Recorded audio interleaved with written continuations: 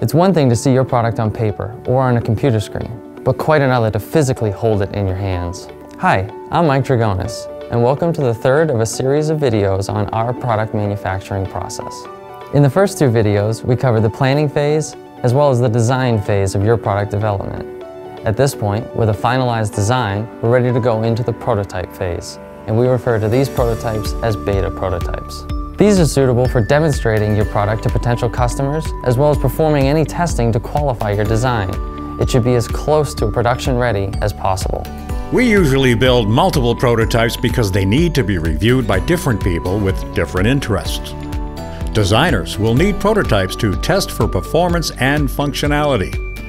Regulatory agencies will use them for safety and other compliance testing. End users will evaluate the prototype for fit in their workflow. But beyond the prototype itself, this stage is also used to verify the assembly and testing process and to identify potential problems with the supply chain. As components and suppliers are identified for the supply chain, realistic cost projections will be developed. We will use this stage to identify high cost components and develop alternative plans to reduce those cost projections.